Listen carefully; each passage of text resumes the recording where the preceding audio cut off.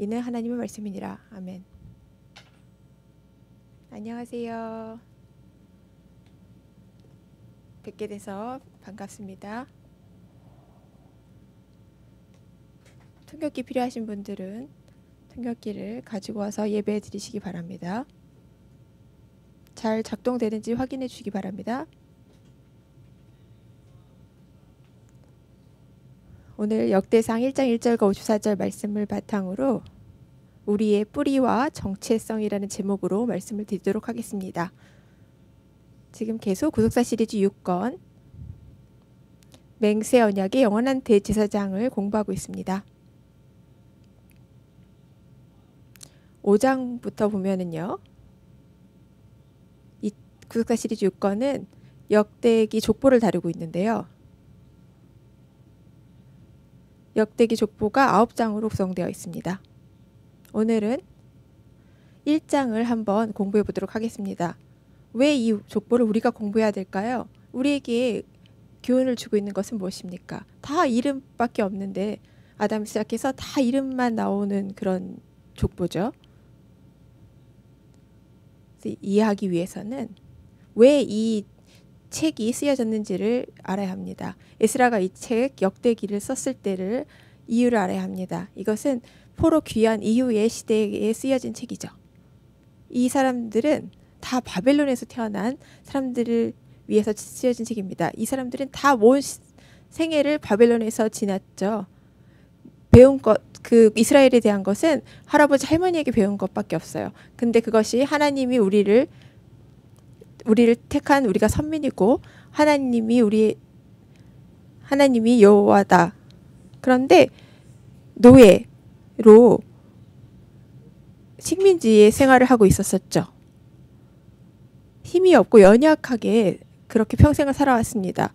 그리고 마침내 자유를 얻어서 고국으로 돌아왔는데 모든 것이 다 나아질 거라고 생각했어요. 그런데 그렇지가 않았습니다. 5만 명만 돌아왔죠? 매우 적은 넘, 적은 숫자였습니다. 근데 고국에서 돌아와 보니 벌써 이방인들이 다 땅을 차지하고 살고 있는 거예요. 근데 그들이 더 강대하고 숫자적으로 너무 많은 겁니다.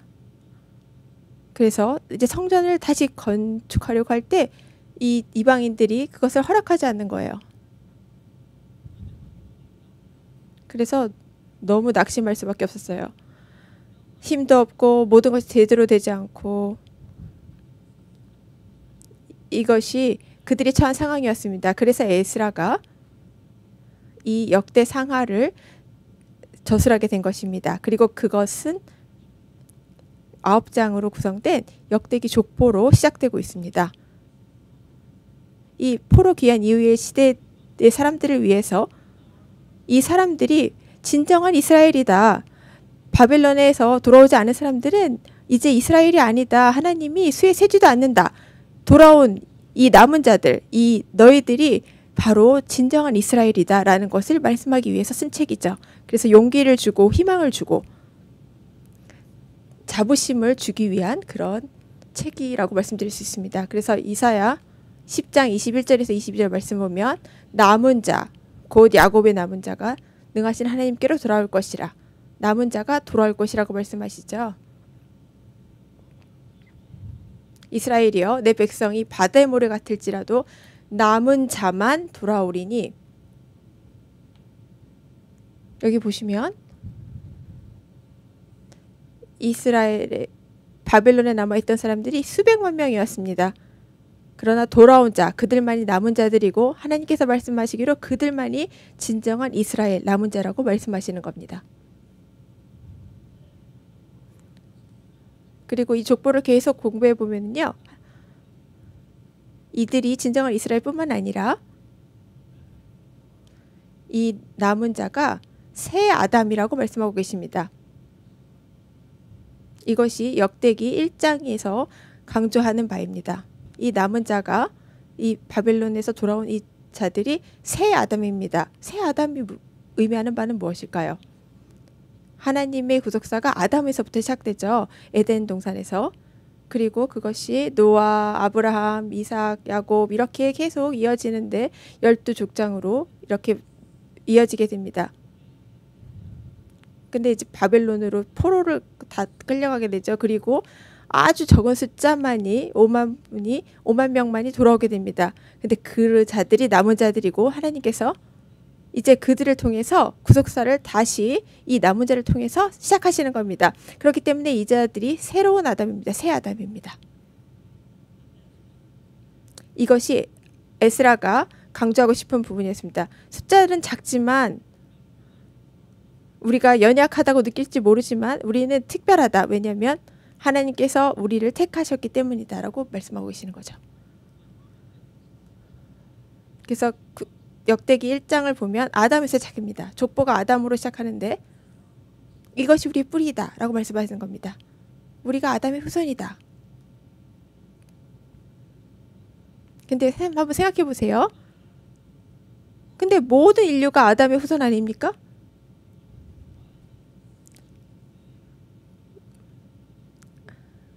이스라엘의 남은 자가 아담의 후손이라는 게 무엇이 더 의미가 있을까요? 하나님께서 말씀하시고자 하시는 것은 모든 인류가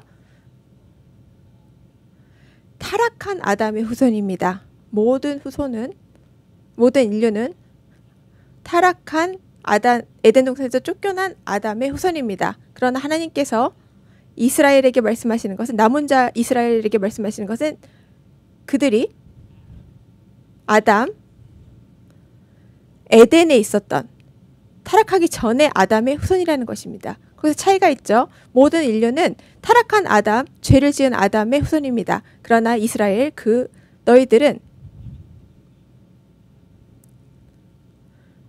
에덴에서 사명을 아담이 가졌던 사명을 이어받는 자라고 말씀하시는 것입니다. 왜 그런지 한번 보도록 하겠습니다. 첫 번째로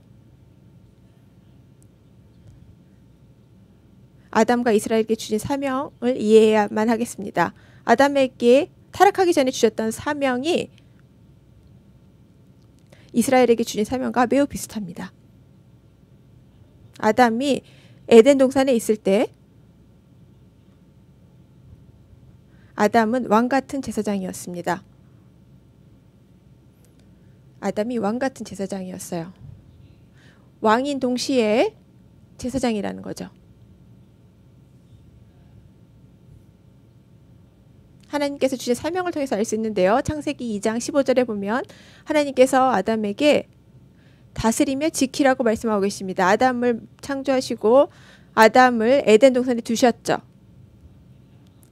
아담을 에덴 동산 밖에서 만드시고 에덴 동산으로 데리고 오셔서 두시고 그것을 다스리며 지키라 하셨습니다. 이 단어 두 가지 다스리라 지키라는 것이 뜻하는 바는 무엇입니까? 이 두 단어가 함께 사용될 때가 있는데요. 제사장과 연관되어서 사용될 때가 많습니다. 다스리다라는 것은 히브리어로 아바드이고 지키다는 히브리어로 샤마르입니다. 이 두 단어가 아바드와 샤마르는 같이 사용돼서 보통 제사장이 성전에서 성막에서 했던 일들을 가르칠 때 사용됩니다. 예를 들어서 민수기 18장 7절에 제사장의 직분이 나오는데요. 너와 내 아들들은 단과 장안의 모든 일에 대하여 제사장의 직분을 지켜 섬기라. 내가 제사장의 직분을 너에게 선물로 주었은즉.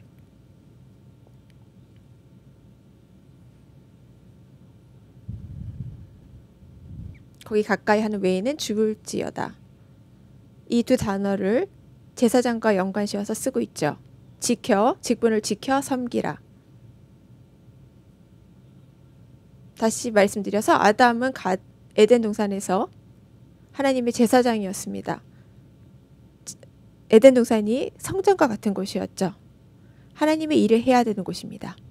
그런데 죄를 지었을 때 그곳에서 쫓겨났죠. 하나님께서 그때 흙에서 돌아 흙에서 만들어졌으니 흙으로 돌아가라 이렇게 말씀하고 계시는 겁니다. 타락한 것이죠. 근데 재밌는 것은 이스라엘이 가나안으로 들어왔을 때 하나님께서 같은 두 가지 명령을 하십니다. 아담이 에덴 동산에 있을 때 왕 같은 제사장이었죠. 그리고 이스라엘이 가나안 땅에 들어갔을 때 하나님께서 그들에게 똑같은 사명을 부여하셨습니다. 여호수아 2장 22장 5절에 보면 이것은 이스라엘이 가나안에 들어오신 들어온 이후에 안정되고 하나님께서 말씀하신 건데요. 크게 삼가 여호와의 종 모세가 너에게 명한 명령과 율법을 행하여 너희 하나님 여호와를 사랑하고 그 모든 길로 행하며 그 계명을 지켜 그에게 지켜 여기 나오죠. 그에게 친근히 하고 너희 마음을 다하며 성품을 다하고 그를 섬길지니라. 이 명령을 볼 때요. 우리가 연결시킬 수가 있겠죠. 이스라엘이 이제 하나님의 제사장입니다. 가나안 땅에서 제사장인 거죠. 아담이 에덴 동산에서 제사장이었던 것 마찬가지로 이스라엘이 이제 가나안 땅에서 왕 같은 제사장이 된 것입니다. 아담이 에덴 동산 밖에서 만들어지고 에덴 동산으로 들어온 것처럼 이스라엘도 밖에서 가나안 땅으로 들어오게 된 것입니다. 근데 여기서 멈추면 우리한테 아무 의미가 없습니다. 오늘날 이 사명을 부여받은 자들은 우리입니다. 우리 모두가 예수님을 믿는 자들이 이 사명을 받은 자들입니다. 우리가 예수 그리스도 밖에 있었죠. 그런데 이제 예수 그리스도 안으로 부름을 받았습니다. 그래서 예수 그리스도를 믿는 자들은 하나님의 왕 같은 제사장이 되는 것입니다. 하나님께 예배드리고 명령을 지키도록 섬기고 할 수 있도록 부르심을 받은 자들입니다. 이 사명을 통해서 이스라엘이 이제 새 아담입니다. 가나안에서 새 아담인 것이죠. 그런데 죄를 짓고 쫓겨났죠. 아담처럼. 바벨론으로 쫓겨나고 말았습니다. 그리고 이제 다시 기회를 주시는 겁니다. 남은 자들에게 아주 적은 숫자죠. 돌아온 자들에게 가난으로 돌아온 그들에게 새 아담을 허락하신 겁니다. 새로 시작할 수 있도록 해주신 것이죠. 두 번째로 아담과 이스라엘의 창조 과정을 통해서 어떻게 창조되었는지를 통해 비슷한 점을 발견할 수 있습니다. 아담과 이스라엘이 비슷하게 창조가 되었습니다. 아담이 어떻게 창조되었는지 다 알죠. 창세기 2장 7절에 보면 하나님께서 여호와 하나님이 흙으로 사람을 지으시고 생기를 그 코에 불어 넣으시니 사람이 생명이 된지라. 이것이 아담입니다. 이렇게 하, 하나님이 사람을 창조하셨죠. 근데 이것이 이스라엘을 만드신 것과 매우 비슷합니다. 그리고 우리를 창조하실 때도 믿는 자들도 이렇게 창조하신 겁니다. 이게 공식인데요. 전에도 많이 말씀드렸는데요. 여기 영어, 한국말, 히브리어가 다 있습니다. 하나님께서 흙에서 아담을 취하여서 그래서 히브리어로 아바 민하 아다마입니다. 아파름 흙이고 민은 어디에서부터 이런 뜻입니다.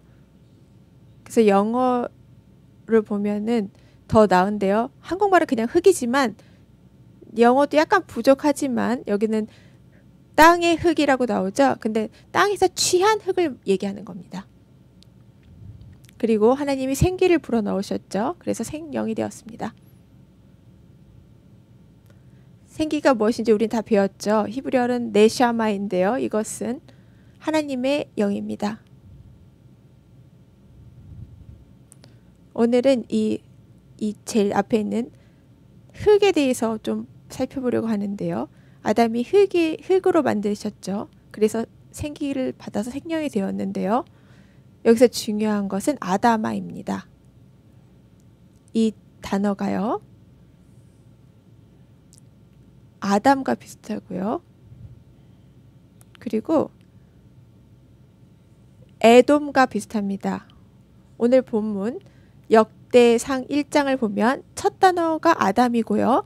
마지막 단어가 에돔입니다. 아담, 에돔, 아다마 이 모든 단어가 한 단어 아담 or 아돔이라는 히브리어에서 파생된 단어입니다.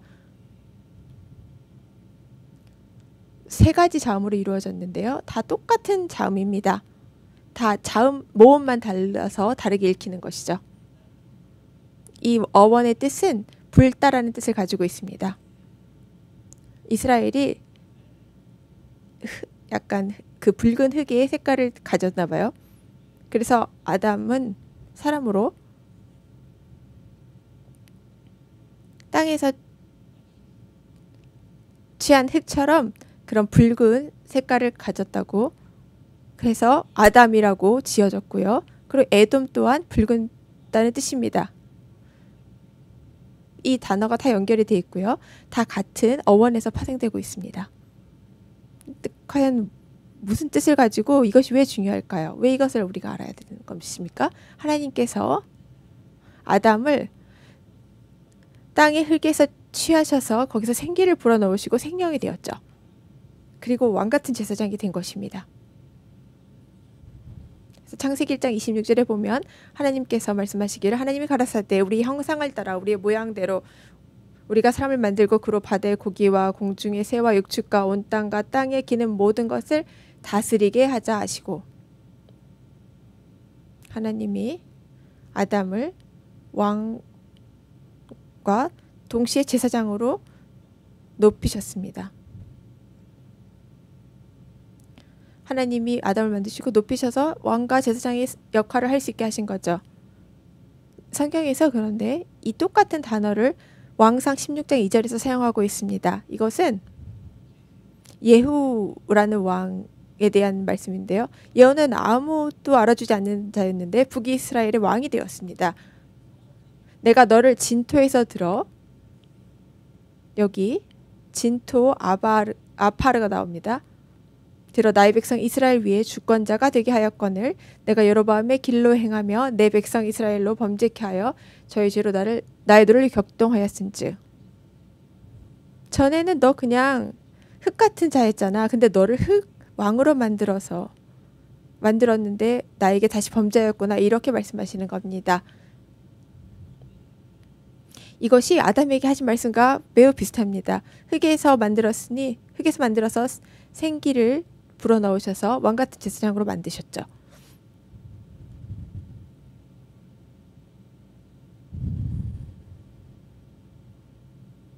이것이 아주 정확하게 하나님이 이스라엘에게 하신 것입니다. 그래서 말씀드린 것처럼 역대기 1장 1절이 아담으로 시작해서 에돔으로 끝납니다. 이 두 단어가 모두 히브리어 아담 또는 아다마 땅을 뜻하는 아다마에서 파생된 단어입니다. 그래서 역대기 1장 1절에 보면 1장을 볼 때 한 이스라엘의 뿌리를 알수 있습니다. 그것은 땅의 흙인, 흙에서 취하여서 파생된 것이죠. 이게 타락한 아담의 자손들인데요. 그리고 나서 그 바로 다음에 나오는 구절 역대기 2장 1, 2장 1절이 이스라엘이 나옵니다. 1자, 역대상 1장 1절은 아담과 에돔을 보여주죠. 이 사람들이 이 사람을 통해서 이 흙에서 이스라엘을 취하신 겁니다. 그래서 높이셔서 나의 택한 백성 왕 같은 제사장으로 삼아 주신 것입니다. 그래서 이제 나를 섬길 수 있는 자가 되게 하신 겁니다. 하나님을 섬길 수 있게 만드신 것입니다. 에스겔서 37장 10절을 보면 에스겔도 또한 바벨론에 살았죠. 하나님께서 에스겔에게 뼈가 가득한 골짜기를 보여주셨는데요. 그리고 에스겔이 예언을 하였어요. 그때 이에 내가 그 명대로 태어났을 때 생기가 그들에게 들어가매 그 뼈들이 살아 일어섰죠. 말씀을 주니까 생기가 들어가서 살아났습니다. 이 표현도 창세기 2장 7절과 똑같죠. 하나님께서 아담에게 하신 것과 똑같습니다.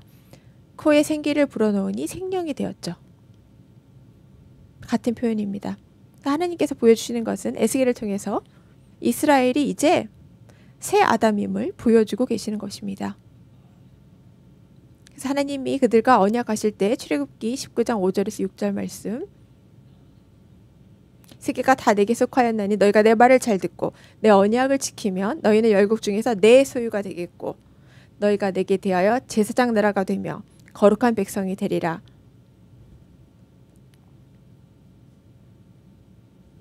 여기 보세요. 다 다른 사람들 이방인들과 같았지만 흙 같은 자들이었지만 내가 너를 택하였다. 그래서 너를 높여서 그 가운데서 취하여서 높여서 특별한 백성을 만들었다. 그래서 이제 나를 섬겨라. 그것이 너희 이스라엘이다라고 에스라 선자가 남은 돌아온 자 이스라엘들에게 말씀하고 계시는 것입니다. 돌아온 자들이 연약하고 약하였지만 우리는 택함을 받은 특별한 사람들이다. 자부심을 가지고 희망을 가져라고 말씀하고 계시는 것입니다. 하나님이 함께 계시기 때문이죠. 이것이 역대상 1장의 중요한 말씀입니다. 이스라엘이 아담 타락 이전에 그런 사명을 가진 자들이다. 그리고 오늘 이 말, 본문은 세 번째로 예수님의 제자들이 새 아담인 것을 또 말씀해 주고 계십니다. 예수님을 믿는 자들, 우리들이 예수님의 제자들이죠.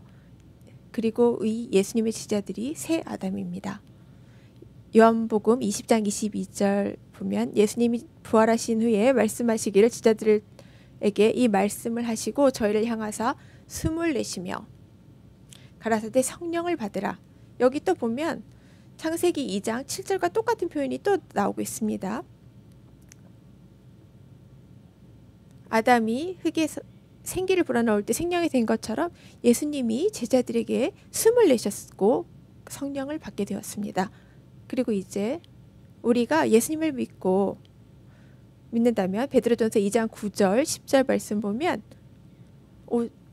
오, 오직 너희는 이 너희는 예수님을 믿는 참된 성도죠. 오직 너희는 택하신 족속이요 왕 같은 제사장들이요 거룩한 나라요 그의 소유된 백성이니 어? 어서 많이 들어보신 것 같지 않으세요? 이것은 출애굽기 19장 5절과 5절 6절 우리가 방금 전에 읽었던 9절에 나오는 그 말씀이죠. 우리가 택한 백성입니다. 너희를 어두운 데서 불러내어 그의 기이한 빛에 들어가게 하신 자의 아름다운 덕을 선전하게 하려 하심이라. 너희가 전에는 백성이 아니더니 우리가 백성이 아니었죠.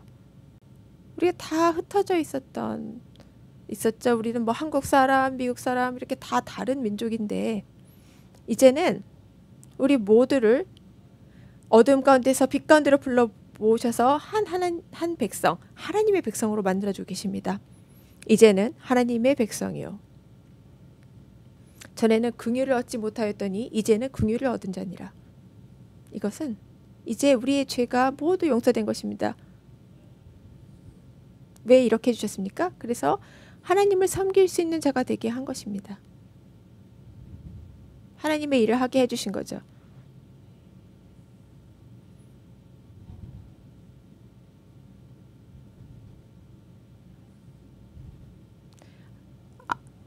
기이한 빛에 들어가게 하신 자의 아름다운 덕을 선전하게 하려 하심이 하나님이 우리에게 주신 사명입니다. 우리 한 하나님이 참된 하나님이다. 하나님이 긍휼을 긍휼을 주신다. 믿어라라고 선포하라고 우리에게 말씀하고 계시는 겁니다. 이것이 목적이죠. 그래서 기억하셔야만 되겠습니다. 에스라가 포로 귀환한 사람들에게 말씀하신 것처럼 하나님이 우리에게도 말씀하고 계십니다.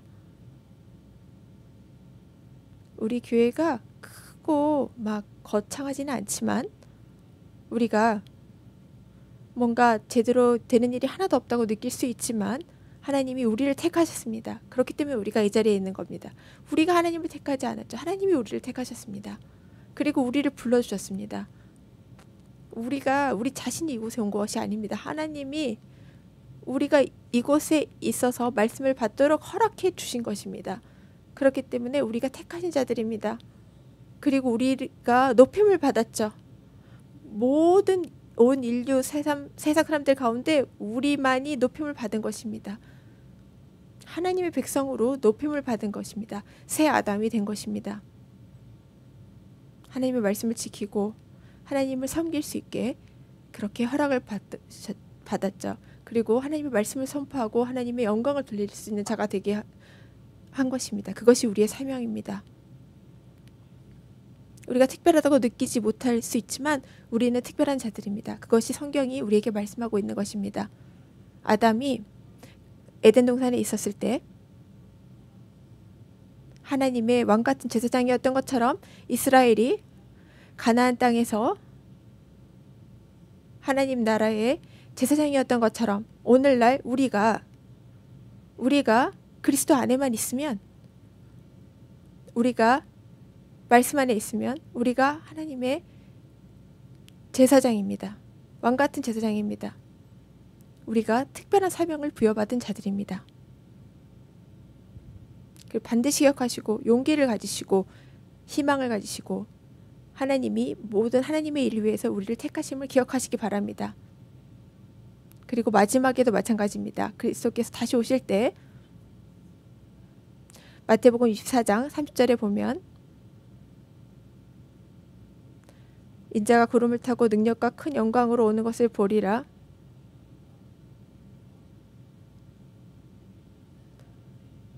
저가 큰 나팔 소리와 함께 천사들을 보내리니 저희가 그 택하신 자들을 하늘 이 끝에서 저 끝까지 사방에서 모으리라. 여기 택하신 자들이 나오죠. 모든 사람들이 아니라 그의 택하신 자들을 부르신다고 말씀하고 계십니다.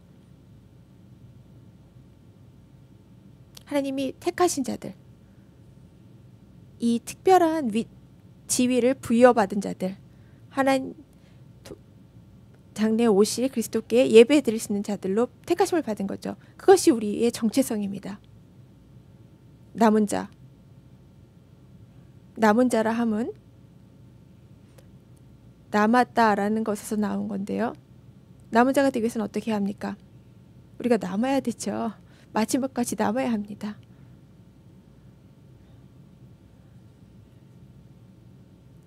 끝까지 마태복음 24장 13절에 보면 끝까지 견디는 자가 구원을 받는다고 말씀하셨습니다. 결론적으로 성경에서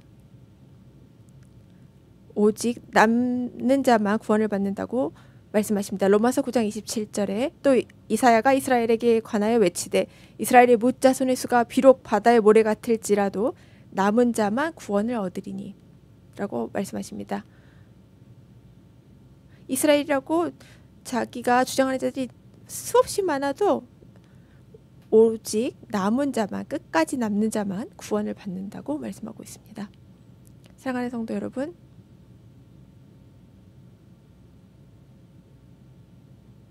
우리의 뿌리를 기억하시고 우리의 정체성을 기억하시기 바랍니다.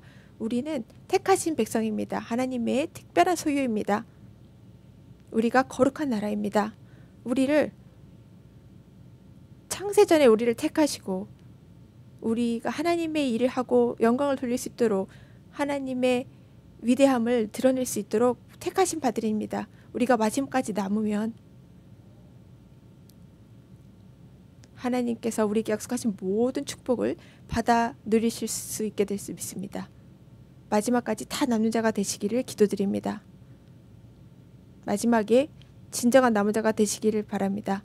하나님께서 우리에게 주신 새 아담에게 주신 모든 생명을 감당하는 자가 되기 바랍니다. 첫 번째 아담은 실패했지만 그리스도를 통해서 우리가 그 사, 사명을 승리로 완성하는 자가 되기를 바랍니다. 기도하시겠습니다. 아버지 하나님, 우리에게 허락하신 은혜의 축복 감사를 드립니다. 우리를 불러주신 감사드립니다. 우리를 택하심을 감사드립니다. 우리를 볼 때 우리가 우리 그 발로 성전에 나온 것 같지만 이 창세가 지어지기 전에 우리를 모든 사람 각자를 이름으로 불러주시고 은혜로 택하시고 이 성전으로 불러주시고 주일에 예배드릴 수 있게 하심을 믿습니다. 우리에게 특별한 지위와 사명을 허락하심을 진심으로 감사드립니다. 우리는 연약하지만 하나님이 함께 하시지 않으면 우리가 모든 것을 할 수 없습니다. 성령님께서 우리를 주장하시고 은혜가 항상 함께하여 주셔서 하나님께서 하는 일마다 지혜를 허락하여 주셔서 우리의 삶이 풍, 풍성하여서 하나님께 영광을 돌려드리는 자가 되게 하여 주시옵소서. 하나님께 봉헌함으로 감사드리기를 원합니다. 봉헌하는 모든 손길에 축복하여 주시옵소서. 감사하는 마음으로 드리게 하여 주시고 우리가 드리는 모든 봉헌을 기쁨으로 받아 주시옵소서. 하나님 영광을 위해서만 사용되게 하여 주시옵소서. 우리에게 허락하신 모든 것에 감사드리며 예수님의 이름으로 감사 기도 드립니다. 아멘.